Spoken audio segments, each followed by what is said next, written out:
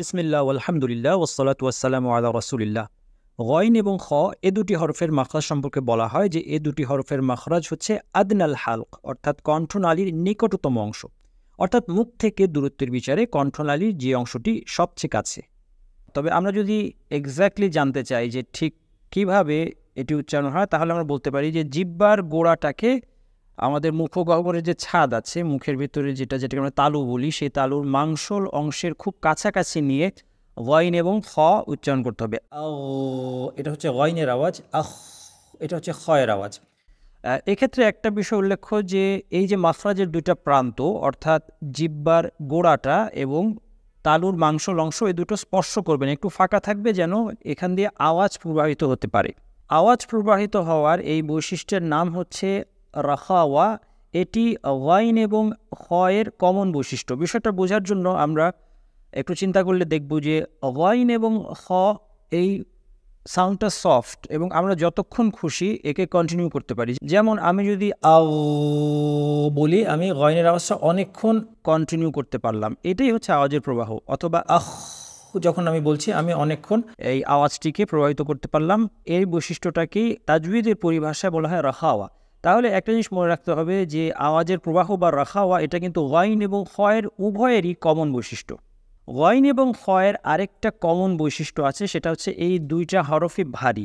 হরফ দুটো ভারী হওয়ার অর্থ হচ্ছে আমরা ওয়াইন বা খ উচ্চারণ করার সময় আমরা জিব্বা দিয়ে আওয়াজকে উপরের দিকে ঠেলছি। তাজবিদের পরিভাষায় আওয়াজ ঊর্ধ্বমুখী হওয়ার এই বৈশিষ্ট্যকে বলা হয় ইস্তেআল্লা যার ফলে হরফের উচ্চারণটা ভারী শোনায়। যেমন আমি যখন পড়ছি ওয়ামা হুম আনহা বিগিন আমি ভারী করে গ বলছি, আমি পাতলা করে গা বলছি না। যদি গা বলি, এটা ভুল হবে। আমরা বলব গ ইবিন তেমনি খলিদিনা ফিহা। আমরা খালিদিনা ফিহা বলব না, আমরা বলব খলিদিনা ফিহা। এবারে আমরা যদি গয়ন এবং খয়ের পার্থক্যের কথা বলি, যেহেতু একই অঞ্চল থেকে বা একই মাখরাজ থেকে এই দুইটা হরফ আসছে, তাহলে আওয়াজের পার্থক্য কেন হচ্ছে? তাহলে আরেকটা বৈশিষ্ট্যের দিকে আমাদেরকে দৃষ্টি দিতে হবে, সেটা হচ্ছে বাতাসের প্রবাহ।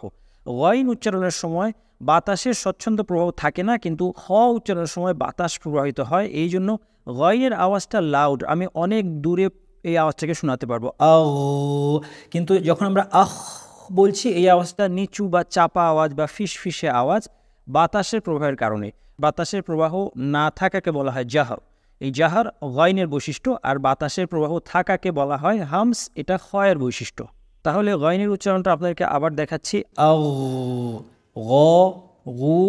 গি আসুন এবার আমরা গয়ন দিয়ে কিছু শব্দ দেখিনি الغين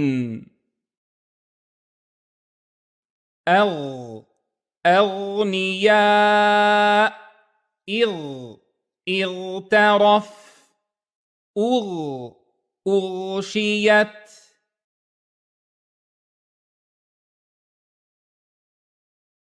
غ غيب. غي غشاوة. غو غلف. غا غالب. غي يغيظ. غو يبغون খয়ের উচ্চারণটা আবার দেখে নেই আহ খ খু খি এবারে আসুন খ দিয়ে আমরা কিছু শব্দ দেখি الخاء أخ أخرجوكم إخ اختلاف أخ أخرجت خا خالد خي خيفة خو فخور.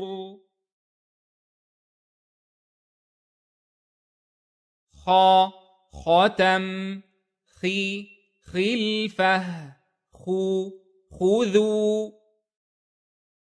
এবারে আমরা গয়ন এবং খ উচ্চারণের ক্ষেত্রে প্রচলিত কিছু ভুল সম্পর্কে আলোচনা করব। প্রথমত গয়নের ক্ষেত্রে আমরা বলতে পারি যে গয়নটা আমাদের অনেক সময় শক্ত হয়ে যায়। আমরা যদি জিব্বার গোড়াটাকে তালুতে শক্তভাবে লাগিয়ে দিই, তাহলে বাংলা গয়ের মতো আওয়াজ শোনা যাবে। যেমন আমরা যখন গাড়ি বলছি, আমরা খেয়াল করলে বুঝব যে গা বা গ, এই আওয়াজটাকে আমরা কন্টিনিউ করতে পারি না। কারণ এই আওয়াজটা শক্তভাবে হচ্ছে, তার কারণ হচ্ছে মাখরাজের দুই প্রান্ত লেগে যাচ্ছে। কিন্তু আরবি গয়ন বলার সময় এই কাজটি আমরা করব না। যদি আমরা ওয়াইন বলার সময় শক্তভাবে মাখরাজ দুই প্রান্তকে লাগাই, তাহলে কেউ কেমন শোনা যাবে? অনেকে যেমন পড়ে থাকেন গৈরিল মাকদুবি আলহি মাকদুবি এই আওয়াজটা শুনে এটা কিন্তু আরবি গয়নের আওয়াজ না, এটা অনেকটা বাংলা গয়ের মতো। আমাদেরকে সফট করে, নরম করে বলতে হবে গৈরিল মাগদুবি মাগদুবি এবং এই আওয়াজটা সঠিক হচ্ছে কিনা বোঝার জন্য আপনি প্র্যাকটিস করবেন এভাবে, আপনি বলার চেষ্টা করবেন এবং দেখবেন যে আপনি এটাকে কন্টিনিউ করতে পারেন কিনা।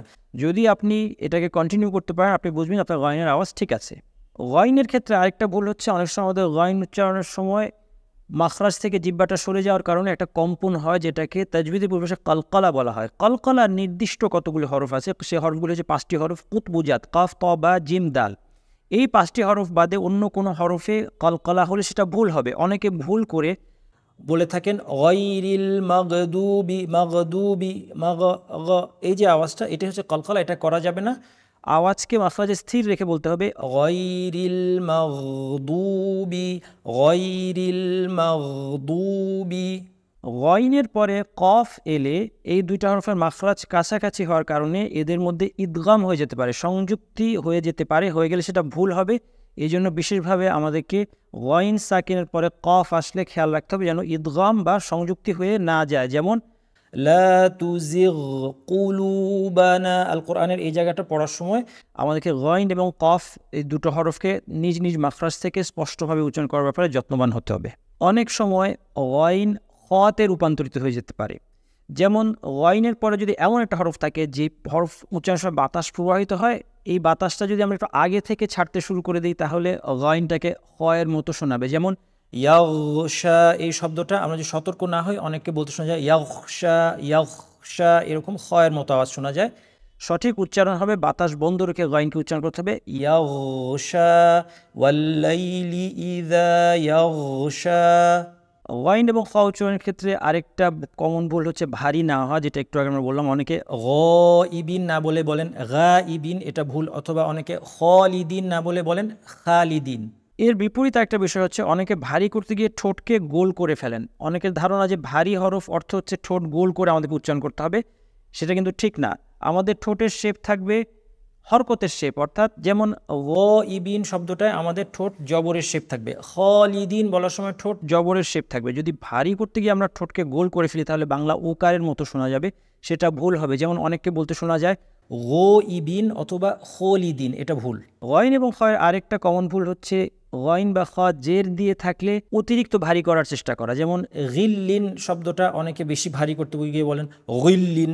অথবা খিফা শব্দটা অনেকে বেশি ভারী করতে গিয়ে বলেন হুইফা এরকম অতিরঞ্জন বা এক্সাজারেশনের কোনো প্রয়োজন নেই। আমাদেরকে মনে রাখতে হবে যে গয়ন জের বা খজের, এটা ভারী ঠিকই, কিন্তু খুব অল্প ভারী। এই দুইটা হরফ উচ্চারণের জন্য আমরা যখন, অর্থাৎ গয়ন এবং খতে যখন জের থাকে, তখন এই দুটাকে উচ্চারণের জন্য আমরা অতিরিক্ত কিছু করার দরকার নেই। আমরা স্বাভাবিকভাবে বলব গিল্লিন খিফা।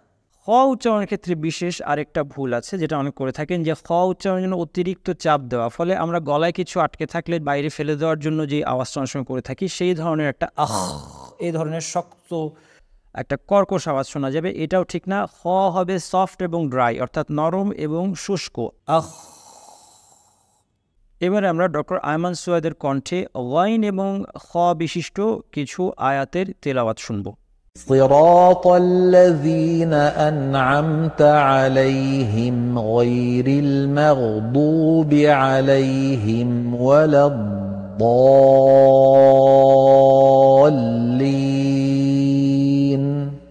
ما أغنى عنه ماله وما كسب والليل إذا يغشى.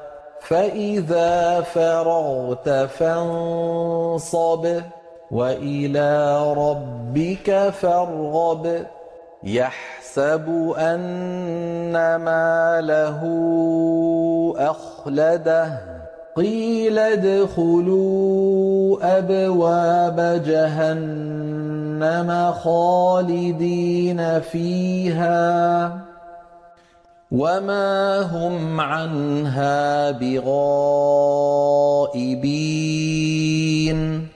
وخذ بيدك ضغثا فاضرب به ولا تحنث وقيل يا أرض ابلعي ماءك ويا سماء أقلعي وغيض الماء وقضي الأمر واستوت على الجودي. وقيل بعدا للقوم الظالمين. ربنا لا تزغ قلوبنا بعد إذ هديتنا وهب لنا من لدنك رحمة. إنك أنت الوهاب. وآتيناهم بينات من الأمر فما اختلفوا إلا من بعد ما جاءهم العلم بغيا بينهم يدعوكم ليغفر لكم من ذنوبكم ويؤخركم إلى أجل مسمى. واذكر ربك في نفسك تضرعا وخيفة ودون الجهر من القول ودون الجهر من القول بالغدو والآصال ولا تكن من الغافلين আল্লাহ সুবহানাহু ওয়া তাআলা আমাদেরকে সঠিকভাবে আল কোরআন তেলাওয়াতের তৌফিক দান করুন। সুবহানাক আল্লাহু আস্তাগফিরুকা ওয়া আতুবু ইলাইক। আসসালামু আলাইকুম ওয়া রাহমাতুল্লাহি